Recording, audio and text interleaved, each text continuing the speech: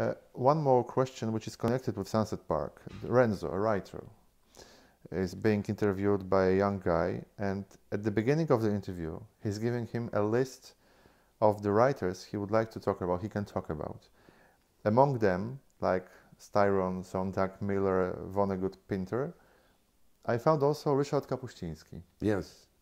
A great Polish writer and reporter, and his presence on the list is just an instance, or this is somehow your own list, and Kapuściński was an important writer for you? Listen, I loved Kapuściński's work. I read every book he published, in English, of course. Uh, but he was one of the few writers whom I read every book of. Uh, whenever he published, I went out the next day and bought it.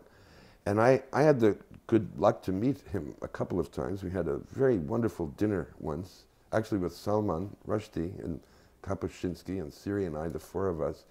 Fantastically wonderful evening. I admired him tremendously. I think he was a, a great writer, and um, everything he wrote uh, interested me. Everything. So he's on the list of the recently dead. Which part of his uh, of his work, or what what was the most interesting part of his work to you? The, the, the story about Africa being uh, becoming independent, or this this story about the I don't know human condition.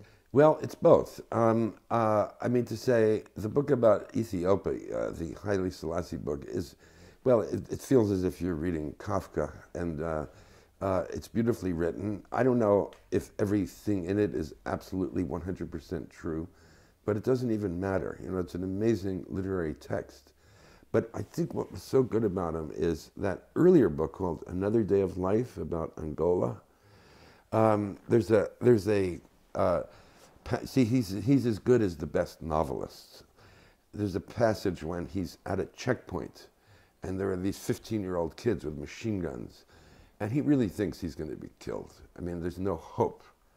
But somehow or other, they let him through.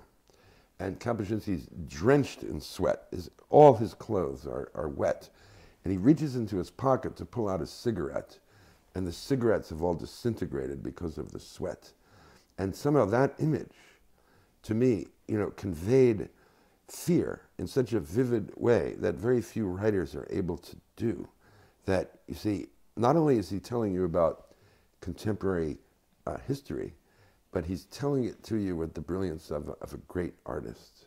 And so that's why I love this work so much.